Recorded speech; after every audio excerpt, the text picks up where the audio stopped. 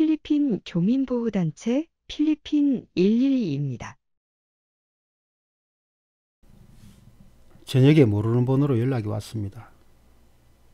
이틀째 아무것도 먹지 못하고 있다고 했습니다.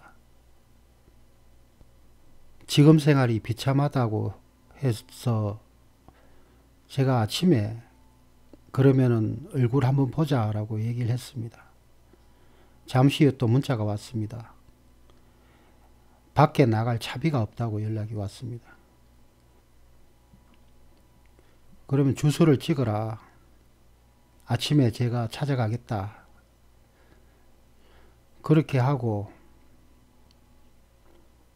오늘 아침에 도시락을 집에서 싸서 찾아갔습니다. 도시락하고 천페소만 전해주고 오려고 그랬는데 집에 올라가자라는 얘기를 듣고 누추하지만 그 집으로 올라갔습니다. 팬데믹 동안에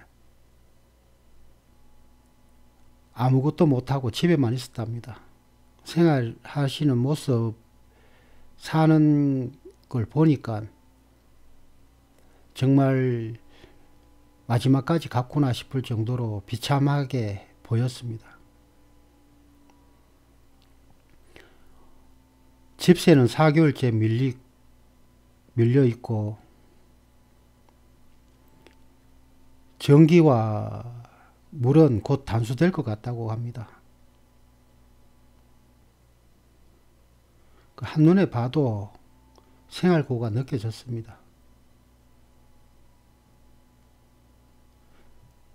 대부분 이제 필리핀에 있는 교민들 중에 이분하고 비슷한 상황에 있는 분들이 많지 않겠나 싶습니다. 이런저런 얘기를 듣고 내가 이분 입장 같으면 어떨까 싶을 정도로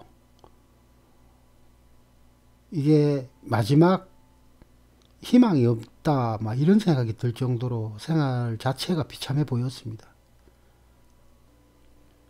사람도 건강하고 인물도 좋고 팬데믹 이전에는 열심히 살았다는 것 자체가 느껴질 정도로 겉보기에는 밖에서 만약에 만났다면 속사정을 모르고 만났다면 정말 이렇게 힘든 상황까지 처해 있을 거라는 생각을 못 했을 것 같습니다. 이런저런 속 얘기를 다 듣고 돌아오는데 지금 당장에는 버티겠지만 한두 달 후에는 불을 보듯이 뻔하게 또 비참한 생활이 끝이 없을 것 같은 그런 느낌이 들었습니다.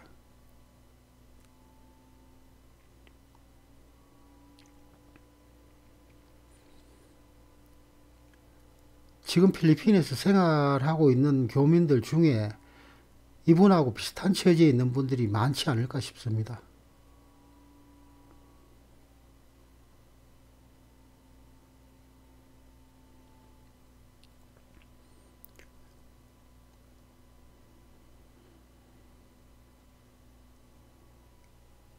한국을 나가려고 해도 지금 당장에 뭐 비행기표라든가 이런 걸 구할 수가 없답니다.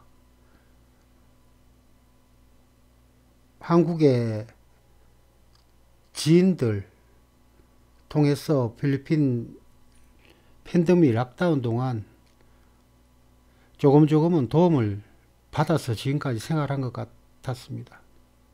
그래서 더 이상 손 벌릴 데도 없는 것 같았습니다.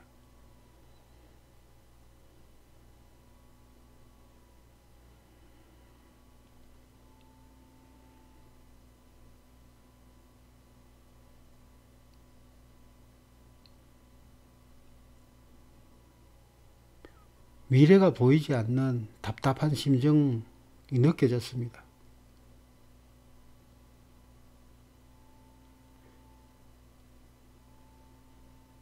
팬데믹 이전 같으면 다들 어려운 사람들 보면 십시일반으로 도움을 줄 수 있고 그럴 입장인데 지금은 다들 어려우니까 선뜻 도움을 줄 만한 사람들도 없는 것 같습니다.